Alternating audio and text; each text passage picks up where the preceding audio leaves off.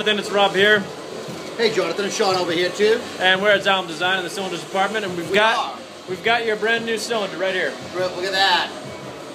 Two 24 inches by 18 inches tall. Woo. Black cylindrical, Yeah, it's black satin, Yup. laminate, looking good. brand new, custom made for you in this department. Yeah, One of a kind. yep, absolutely. This is going to be shipped out to you on Gaylord Court in uh, Elma, New York. So Elma, look- New York. So please be looking for that.